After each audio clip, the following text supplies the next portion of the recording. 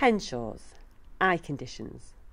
Supporting people with sight loss and a range of other disabilities to go beyond expectations. Welcome to Henshaws Knowledge Village. My name's Mark and this is a micro video on the eye condition called age-related macular degeneration. A long word so we call it AMD.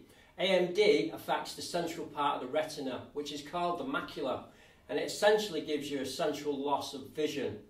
Um, so in the simulator you'll see that my head is, is distinguished by a black dot, so lack of central vision. In the latter stages, you'll see pretty much my head is missing. And that's essentially what happens. The macula doesn't take in that information. So people have difficulty reading text. Straight lines could look wax, uh, waver and distorted. And there's a central lack of, of vision, really. It's really not clear. There's two types. There's wet and there's dry. Dry is the most common and develops gradually. Wet is more aggressive. It's fast and it's fierce and comes on really quickly. Uh, people will have difficulty recognising faces, uh, facial expressions obviously, reading. Contrast is low, so mobility, although is generally good, things like curbs could be a problem.